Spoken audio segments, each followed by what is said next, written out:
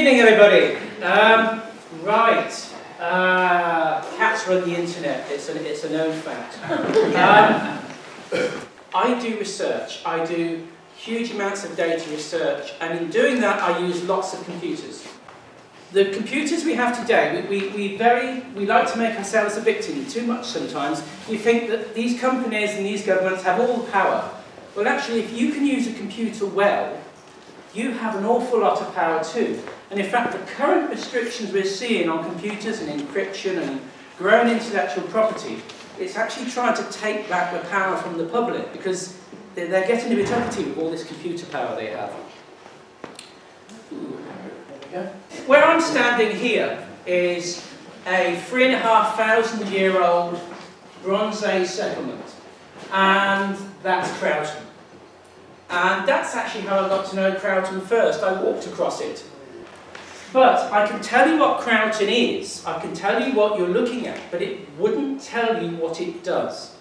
And that's because today the function of technology is completely separate from its, its form.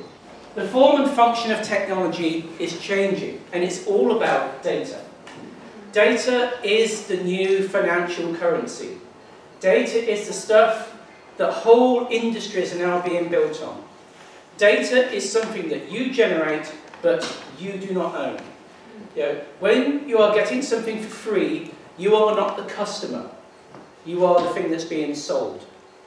And, and that is the new world we're in. Now, data is absolutely meaningless unless you are able to organise it. What you organise data with is something called metadata. This has been around for many years. What metadata means, data about data. So we take a piece of data. It could be a phone number, it could be a piece of video, it could be a picture, it could be a GPS coordinate, it doesn't matter. It's a piece of data, we describe it.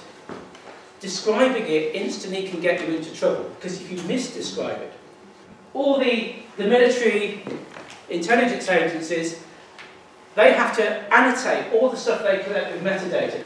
And data really is, you have what's called the collection context. That's where it came from, who got it, what sensor was used, because you have to know that to interpret it. But then you have the really dodgy stuff, the information con context. Subject, uh, who is it, where was it, does it identify a phone number, somebody's computer, and then you have all these associated bits of data.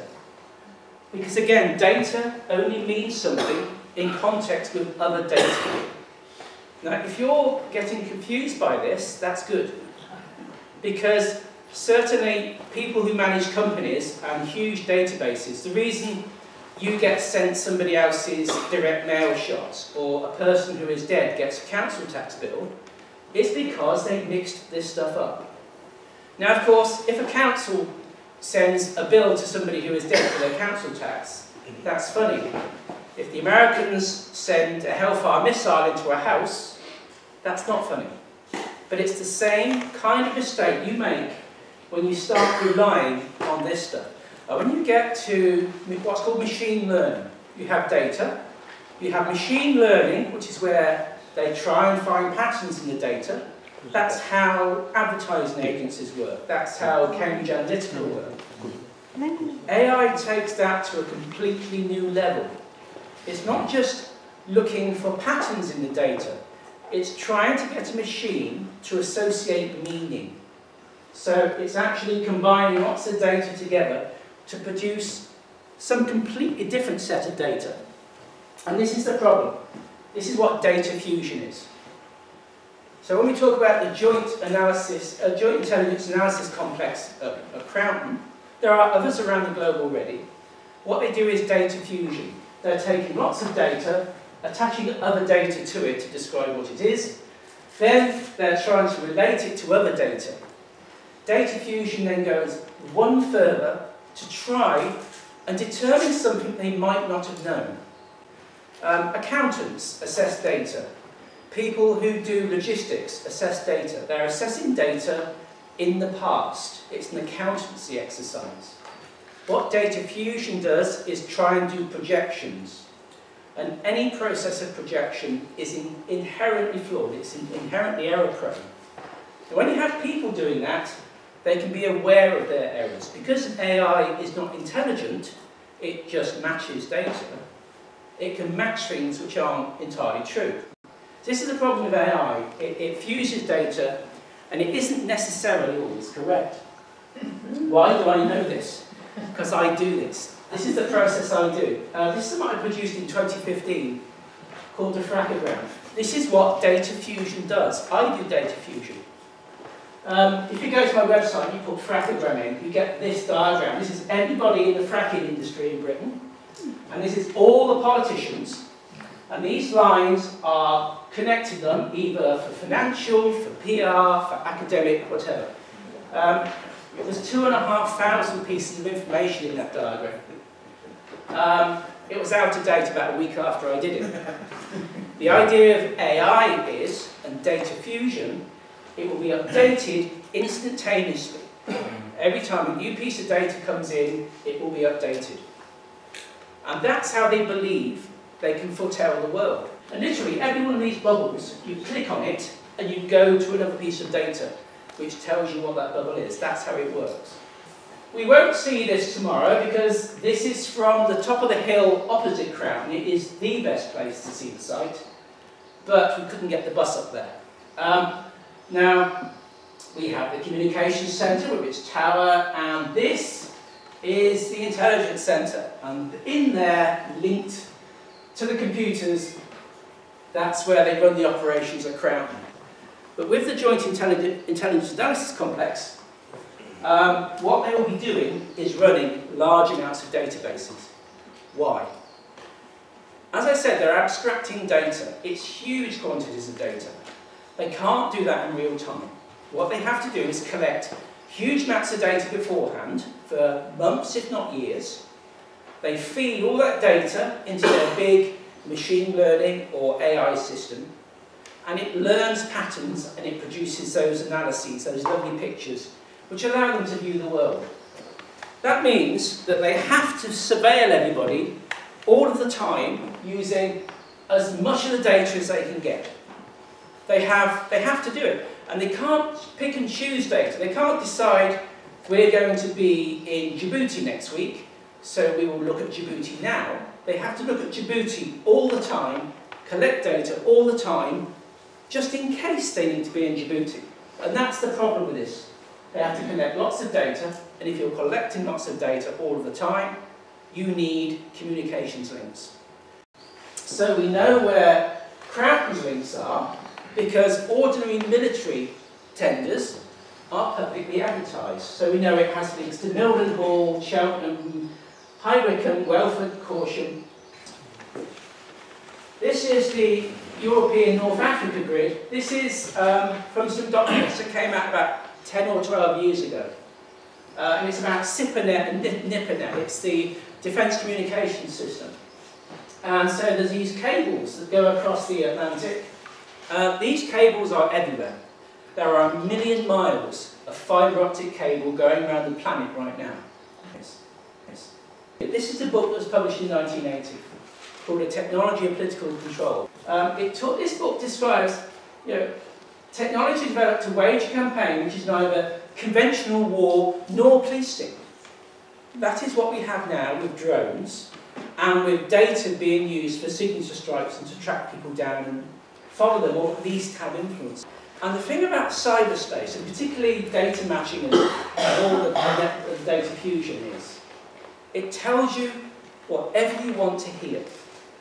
And it's something that um, the Senate, one of these Senate investigation subcommittees looked at 10 years of experience of data fusion, and they produced a report in 2012. And their report was quite clear.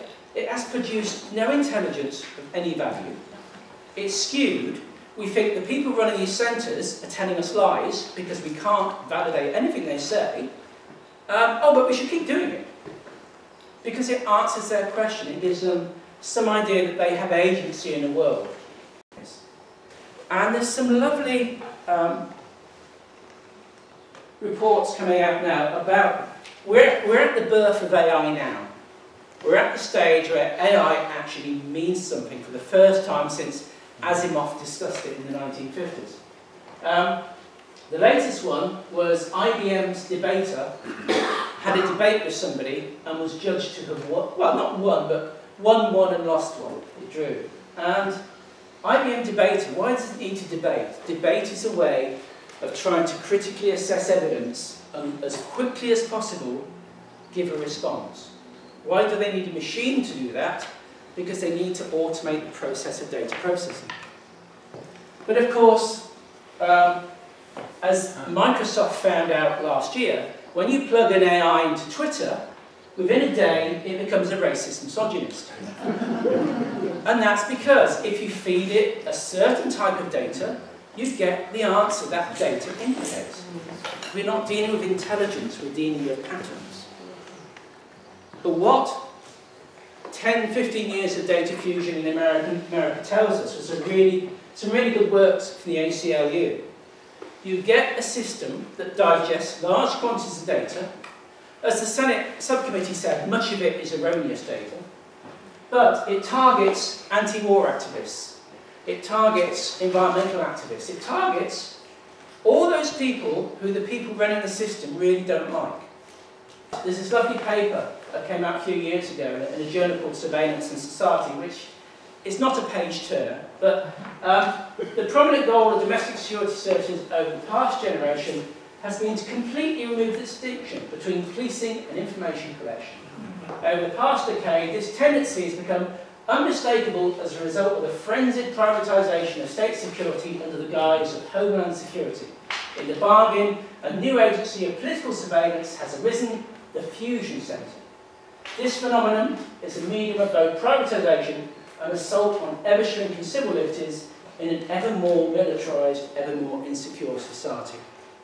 That is the conclusion of that 1980 book, The Technology of Political Control. And it arrived at that conclusion in 1980, not from a, a detailed analysis of the technology, but from the people who were commissioning it. Because if you build a system, you tend to build your own prejudices into it. Croughton is just one of many sites. All sites are being influenced by this data-centric operation idea. They're all becoming more intrusive, they're all becoming more invasive of civil liberties, of privacy, and of freedom of expression by the menace that they create in society, the idea that everybody's being watched. The big one is that because these data centres don't work within any one place, they're a network, they can actually route data by a pre-selected set of ideas to avoid certain legal jurisdictions. So they're able to, ineffectively, to operate outside the law. And because of this parallel development in the corporate world, there is no distinction between civil and military anymore. It's, it, there is no dual use, it's all one machine. And for that reason, as peace activists, you've got to start talking to privacy activists.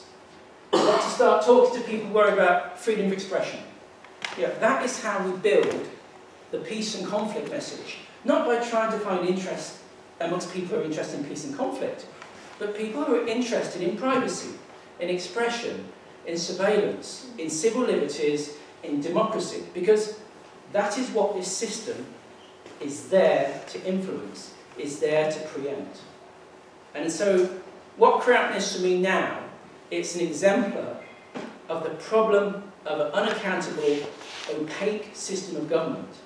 And if we deal with it as that, not as just weapons of war, but actually uh, as a system that doesn't work anymore, as we heard somebody say earlier, it's a system that doesn't work, it's politics that doesn't work. Not democracy, it's the politics that arises from it. Then we can make the peace message via all those other people. Any questions? If we have any questions?